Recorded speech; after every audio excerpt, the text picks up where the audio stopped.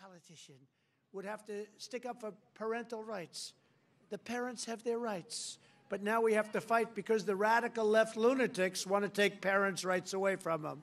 But we won't let that happen. We will get critical race theory out of our schools, out of our military, and out of every part of our federal, state, and local governments.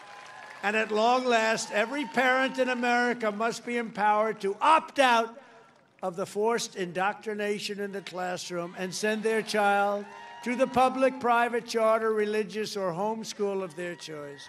We will also, if you don't mind, it's politically incorrect, they tell me, but I'm okay with it. We will keep men like Jim Jordan out of women's sports.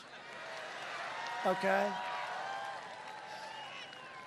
I want to find a woman that can beat Jim. I'd pay a lot to watch it.